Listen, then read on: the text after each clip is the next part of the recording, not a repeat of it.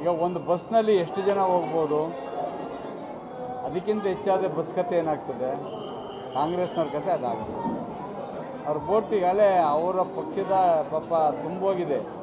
ಬೇರೆಯವರು ಕರ್ಕೊಂಡು ಕರ್ಕೊಂಡು ಅದನ್ನ ಸಿಂಕ್ ಮಾಡ್ಕೊಳ್ಳೋದಕ್ಕೆ ಟ್ರೈ ಮಾಡ್ತಾರೆ. ಮಾಡಲಿ ಅದು.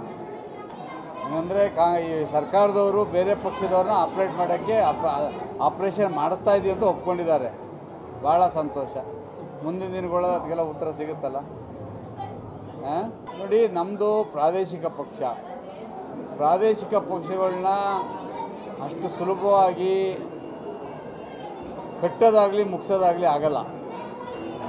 ಅದರ ವಿಶೇಷವಾಗಿ ಕರ್ನಾಟಕದಲ್ಲಿ ಪ್ರಾದೇಶಿಕ ಪಕ್ಷವನ್ನು ಮುಗಿಸ್ಬೇಕು ಅಂತ ಬಹಳ ಪ್ರಯತ್ನಗಳು ನಡೀತಾ ಇದೆ ಭಾಳ ದಿವಸದಿಂದ ಅದರ ಒಂದು ಭಾಗವಾಗಿ ಇದನ್ನೆಲ್ಲ ಪ್ರಯತ್ನ ಪಡ್ತಾ ಅದಕ್ಕೆಲ್ಲ ಜನತೆ ಉತ್ತರನ ಮುಂದೆ ಲೋಕಸಭಾ ಚುನಾವಣೆಗೆ ಕೊಡ್ತಾರೆ. ಅಲ್ಲ, ಈಗ ಅದು ಅವರು ಅವ್ರಿಗೆ ಅವರೇ ಹೇಳ್ಕೊಂಡಿದ್ದಾರಲ್ಲ ತಿಂದು ತೆಗೆದವ್ರು ಯಾರ್ಯಾರು ಅಂತ ಅವರೇ ಅವ್ರು ಸ್ವಲ್ಪ ಹೇಳ್ಕೊಂಡಿರ ಅವರೇ ನಂಬರ್ ಒನ್ ಇರಬೇಕು ಅದರಲ್ಲಿ.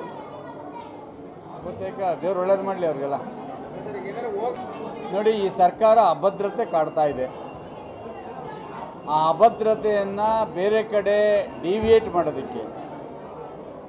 ಆ ಮ, ಜನಗಳ ಮನಸ್ಸನ್ನ ಬೇರೆ ಕಡೆ ತೋರಿಸೋದಕ್ಕೋಸ್ಕರ ಈ ರೀತಿಯ ಸುಳ್ಳು ಇದನ್ನು ಹಬ್ಬಿಸ್ತಾ ಇದ್ದಾರೆ.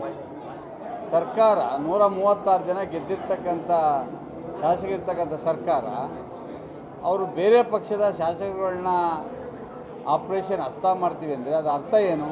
ಈ ಸರ್ಕಾರ ಸುಭದ್ರವಾಗಿಲ್ಲ ಅಂತಕ್ಕಂಥದ್ದು. ಅದು ಅದನ್ನು ತೋರಿಸ್ತಾ ಇದೆ.